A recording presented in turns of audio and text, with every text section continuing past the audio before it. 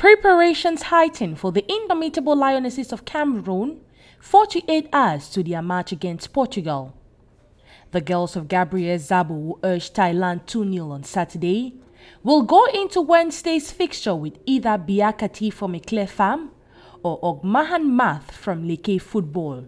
With uh, goalkeeper Ange Bawou suspended, I think uh, the preferred option for coach Gabriel Zabo uh, for the game against Portugal should be goalkeeper Ongmahan Marthe of uh, Leke Football Fee because uh, we look at her performance in the recent past, especially in the Guinness Super League.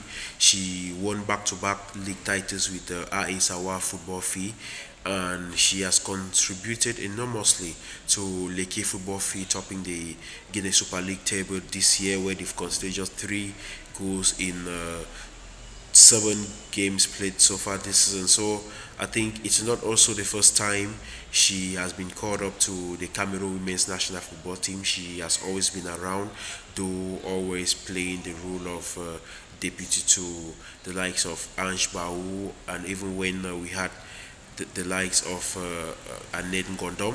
She has always been around, so I think uh, why not give her a chance now? She's been there, she has that experience, she can manage top games. I think against Portugal, if she's given the confidence by coach uh, Gabriel Zabo, she can do the job perfectly. The goalkeeping compartment looks set.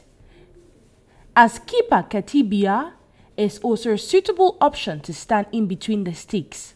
Not taking anything away from the young keeper in Cathy Biya, she has a promising future ahead of her.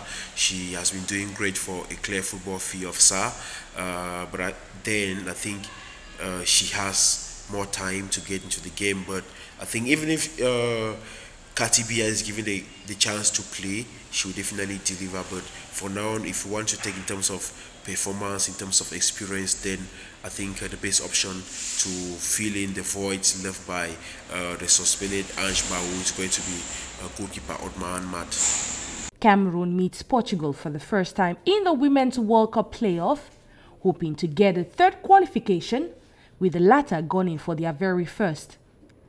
Portugal won 5 0 against New Zealand on Friday, sending a strong warning to Cameroon. The winner at Hamilton joins United States, Vietnam, and Netherlands in Group E.